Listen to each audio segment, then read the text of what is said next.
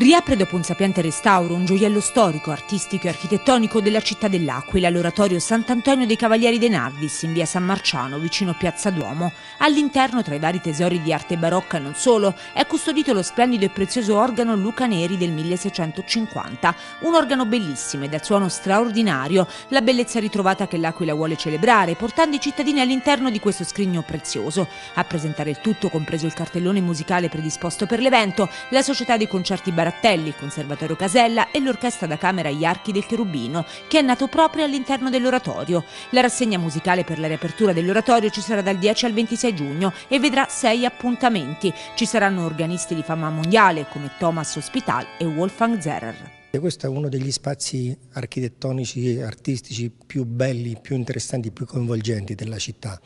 È un, uno scrigno ricco di preziosità che vanno assolutamente viste, meditate, bisogna parteciparle. In particolare c'è questo strumento, questo organo storico datato 1650 attribuito a Luca Neri che è stato uno dei più grandi organari dell'epoca. Fra l'altro questo strumento è stato oggetto di un primo grande restauro eh, nel 1995 grazie alla sensibilità della famiglia De Nardis e quindi del barone eh, che io ringrazio Angelo De Nardis, del quale, del quale serve un ricordo straordinario, questo strumento è riuscito a riprendere voce e quindi qui abbiamo realizzato tantissime manifestazioni, incisioni storiche, qui si sono esibiti tutti i più grandi esperti del repertorio eh, storico su strumenti d'epoca.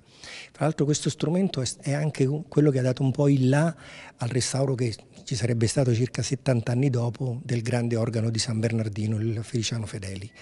Musica sacra del Seicento e del Settecento animeranno la rassegna con uno sconfinamento nella musica profana con un concerto nel cortile esterno. La rassegna ruota attorno alla festa di Sant'Antonio da Padova del 13 giugno.